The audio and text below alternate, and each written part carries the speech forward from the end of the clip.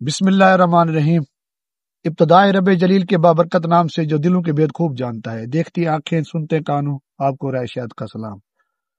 سب سے پہلے امید کرتے ہیں کہ آپ سب خرید سے ہوں گے اور ہم بھی اللہ پاک کے فضل و کرم سے اور آپ سب بہن بھائیوں کی دعاؤں کی وجہ سے بالکل ٹھیک ٹھاک ہیں۔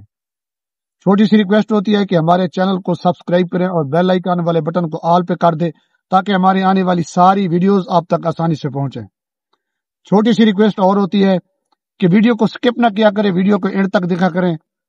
تو آج کی ویڈیو بہت ہی اہم ویڈیو ہے۔ آج کی ویڈیو آسم جمیل کے متعلق ہے۔ میرے پاس، میرے ساتھ اس وقت ایک ایسی شخصیات موجود ہیں جن کا تعلق ضلع مظفر گڑھ سے ہے۔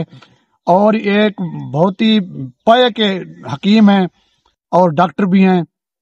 نامی، بہت بڑا نام ہے ان کا۔ حکیم مشتبہ محمود صاحب۔ بہت ہی جانی پہچانی شخصیات ہیں اور کسی تعارف کے محتاج نہیں ہیں۔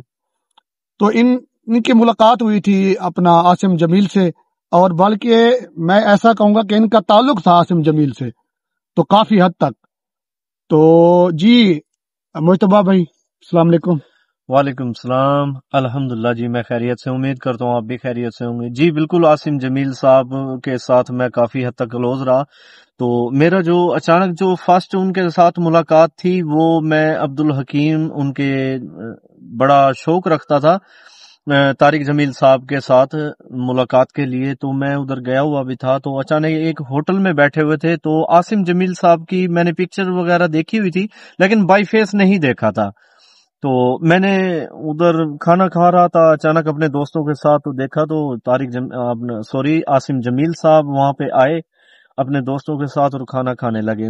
میں نے ان کو دیکھا بھی تو، لیکن وہ چہرہ جو میں نے عاصم جمیل کا ویسے تصویر میں دیکھا ہوتا تو وہ ادھر مجھے ایسا محسوس نہیں ہوا ایک ہی ہوٹل ایک ہی ہوٹل پہ تھے دونوں۔ جی بالکل ایک ہی ہوٹل میں ان کی ٹیبل علیحدہ تھی وہ اپنی ٹیبل پہ آ کے بیٹھے میں اپنے دوستوں کے ساتھ یہ فرسٹ فرسٹ ملاقات یہ جی جی جی۔ اچھا اچھا۔ جی فرسٹ ملاقات جہاں سے میں حیران ہوں اور اللہ کا شکر ہے میں ان کی وجہ سے میں کوشش کرتا ہوں کہ ایسے دنیا میں ہونے چاہیے۔ میں آپ کو یہ بھی بتا دوں کہ جس وجہ سے حیران ہوں تو میں نے ان کو دیکھا تو مجھے دوستوں نے بتایا کہ آصم جمیل صاحب آئے ہوئے ہیں۔ میں نے کہا جی یہ آصم جمیل جی بالکل۔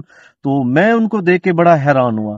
تو دوستوں نے پوچھا خیر کیا بات حیرانگی کی وجہ کیا حیرانگی کی وجہ۔ تو میں حیرانگی کی وجہ بڑی ایک میں نے کہا نہیں یار بس کوئی خاص ایسی بات نہیں۔ تو پھر میں نے کوشش کی کہ اگر میں نے دیکھ لیا ہے تو اب ملاقات ہونی چاہیے۔ میرے دل میں آئی کہ میں نے کہا ملاقات ہونی چاہیے۔ تو پھر میں ان کے پاس بائی فیس گیا بھی ہوں ان کو دیکھا بھی ہے ملاقات کی۔ تو میں جو مجھے پریشانی تھی یا جس وجہ سے میں حیران تھا میں ان کو کہہ بیٹھا کہ اللہ تعالیٰ نے جمیل کو۔ جی بالکل آصم جمیل صاحب کو کہ اللہ تعالیٰ نے آپ کو ایسی شخصیت سے نوازا آپ کے والد کا اتنا بڑا نام ہے پوری دنیا پوری دنیا میں بالکل ایسے ہی ہے پوری دنیا میں اتنا بڑا نام ہے سوشل میڈیا پر بھی میں کہتا ہوں کہ اللہ جی بالکل بلین کے حساب سے۔ بلین کے حساب سے ایسے ہی ہے۔ تو ان کو میں نے دیکھا تو ان سے بات کی میں نے کہا سر آپ نے داڑھی نہیں رکھی۔ پہلے میں تھوڑا سا لرزہ تاری ہو گئی میں نے کہا کوئی ایسی بات نہ کر دیں جس وجہ سے۔ تو ان کی ہلکی سی مسکراہٹ سے ایسا لگا کہ واقعی اللہ تعالیٰ نے اچھا، ان میں بھی آپ نے یہ سوال کر دیا آسم جمیل کو جی بالکل کیا۔ آپ اتنے بڑے عالم دین کے بیٹے ہیں آپ کے منہ پہ سنت رسول سنت رسول نہیں ہے۔ جی بالکل ہے۔ جی جی۔ کیونکہ میرے ذہن میں کافی جب میں نے اچانک سے دیکھا تو ذہن میں فوراً ایک سوال اٹھا۔ کہ اللہ تعالیٰ نے ان کے والد محترم کو اتنی بڑی شخصیت ہیں، سنت رسول بالکل جو چیز ضرورت ہے، اسلام کے مطابق مکمل ہے تو ان کی کیوں نہیں ہے؟ تو میں نے وہ سوال کیا تو انہوں نے بڑے ایک ایسے انداز سے جواب دیا کہ میرے جتنے بھی اٹھنے والے سوالات تھے وہ بالکل ختم ہو گئے۔ انہوں نے کہا کہ سنت رسول اگر منہ پہ رکھ لوں اور یہاں پہ نہ میں کیا کروں؟ سنت رسول جو ہاں۔ ہے وہ دل سے ہونی چاہیے۔ ہاں، دل سے یعنی کہ داڑھی چہرے کے بجائے دل میں ہونی چاہیے۔ وہ سوالات جو میں ادھر حیران رہ گیا اور میں ان کا فین بن گیا۔ پھر آگے انہوں نے کوئی وضاحت وغیرہ اس کی کوئی؟ میں اس وقت ہوش میں نہیں رہا۔ میرا ذہن جو تھا ان کے جو سوال بالکل میں ادھر حیران ہو گیا۔ جو میری حیرانگی جو پہلے تھی وہ ختم۔ جو ان کے سوالات کا جو آسم جمیل صاحب نے مجھے جو بات کی ہے نا بالکل وہ دل پہ جا کے لگی ہے۔ تو اس کے بعد بھی کافی ساری ملاقات رہی ہیں میری۔ تو میں انشاءاللہ نیکسٹ ویڈیو میں بھی آپ کو بتاؤں گا۔ تو کافی سارے ان کے ساتھ میرے اس کے بعد میں انوائٹ ہوا ہوں۔ ان کے ہاں پھر میں ان کی وفات کے بعد بھی گیا تھا، تو ان کی قبر پہ بھی میں بڑا ہی انشاءاللہ مس کرتا ہوں۔ اللہ تعالیٰ ایسے جو اولاد ہے، اللہ تعالیٰ ہر گھر میں دے، اور جو طارق جمیل صاحب کی شخصیت ہے، میں ان کو بھی بالکل، لیکن یہ ہے کہ میں آج تک حیران ہوں کہ انہوں نے داڑھی کیوں نہیں رکھی۔ اس کا میں خود بھی جواب دے ہوں کہ مجھے اس بات کا اگر کوئی شخص ہے تو کمنٹس میں ظاہر کرے یا اچھا بتائے مجھے۔ اچھا جی اپنا مشتبہ بھائی جب آپ نے یہ سوال کیا تو انہوں نے جواب دیا کہ داڑھی چہرے کے بجائے یہاں سے نکلنی چاہیے۔ جی بالکل۔ تو پھر آپ کی دوبارہ بھی ملاقات ہوئی جیسا کہ آپ نے کہا تھا پھر آپ کی ایسے دوستی بھی لگ گئی۔ آتے جاتے رہے جی ملتے رہے جی ملاقاتیں جی ہوتی رہیں۔ تو کبھی یہ اس کی وضاحت کی ہے کہ داڑھی ادھر سے ادھر سے ہونی چاہیے؟ کبھی یہ آپ نے پوچھا تھا کبھی؟ صرف ان کو دیکھنے اور ان کے الفاظ سننے کے لیے میں جاتا تھا۔ اتنا خاص ٹائم مجھے کبھی نہیں ملا۔ ایسا ہوا کہ کسی دعوت پہ وہ بھی انوائٹ تھے، میں بھی انوائٹ تھا، وہاں پہ جا کے پھر ملے ہیں۔ میں نے اپنا پھر ان کو شکل دکھائی تو وہ پہچان گئے کہ بالکل آپ مشتبہ محمود ہیں۔ جی بالکل میں نے کہا جی۔ تو ان کی صرف ایک، پھر مجھے ایک حسرت رہتی تھی صرف ان کے چہرے کا دیدار۔ کیونکہ ان کو اگر میں سوال کرتا مجھے اچھا نہیں لگتا تھا اور پھر وہ اکیلے نہیں ہوتے تھے وہ اپنے دوستوں کے ساتھ ہوتے تھے۔ اچھا ایک ابھی میں مجھے آپ ایک اور واقعہ سنا رہے تھے جی کچھ جی دیر پہلے۔ جی۔ جب میں نے آپ کو کہا کہ میرے اپنے ویور کو بھی یہ حال حوال دے دیں جی جی۔ تو وہ کسی ایک کوئی پاگل کو کوئی روٹی وغیرہ کھلا رہا تھا۔ جی بالکل بالکل۔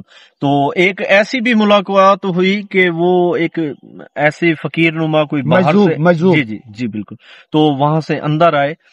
تو وہ اپنی ٹیبل سے اٹھے انہوں نے کھانا وغیرہ اٹھایا تھوڑا سا نا ہاتھ پہ۔ تو وہاں پہ جا کے اپنے ہاتھ سے کھلانے لگے۔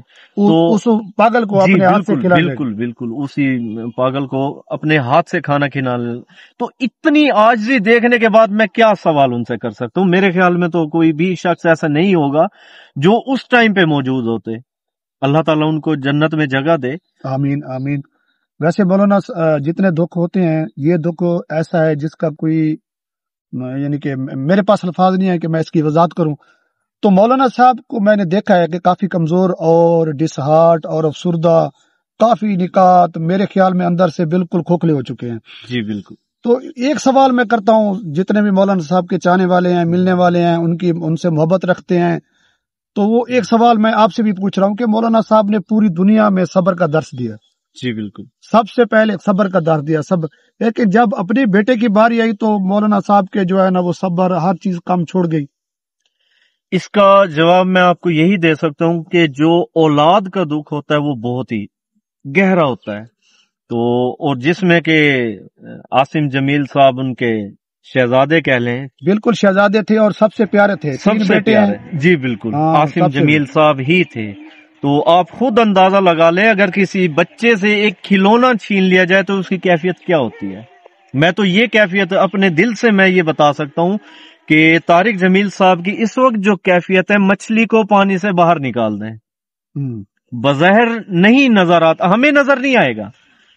لیکن ان کی جو موجودہ کیفیت ہے یہ ہے جس کی میں تو وجہ یہی بیان کر سکتا ہوں۔ اس کے علاوہ جن کی اولاد ہیں وہ بہتر جانتے ہیں۔ مولانا صاحب نے جی بالکل۔ جنازے کے بعد بیان میں بھی یہی فرمایا تھا جی جی۔ کہ میں اللہ پاک سے ویسے تو ہر وقت دعا کرتا ہوں لیکن میں خاص طور پہ یہ دعا کرتا تھا کہ اللہ پاک مجھے اولاد کا دکھ نہ دینا۔ جی تو بالکل اس سے یہ معلوم ہوتا ہے کہ اولاد کا دکھ اتنا گہرا ہوتا ہے جی۔ کہ اس سے زیادہ میرے خیال میں اور کوئی دکھ نہیں ہوتا۔ نہیں۔ تو اللہ پاک عاصم جمیل کو گری کی رحمت کرے۔ آمین۔ ان کے درجات بلند فرمائے اور ان کے تمام منازل آسان فرمائے۔ تو اسی کے ساتھ آج کی ویڈیو کو یہیں پینڈ کرتے ہیں ملتے ہیں نیکسٹ ویڈیو میں تب تک کے لیے اجازت۔ پاکستان زندہ باد۔ اور انڈ کی پہ ایک اور بات کہ ابھی باقی کچھ ہیں جو جی جن کا حال حوال پوچھیں گے۔ پارٹ ٹو میں ہاں پارٹ ٹو میں انشاءاللہ۔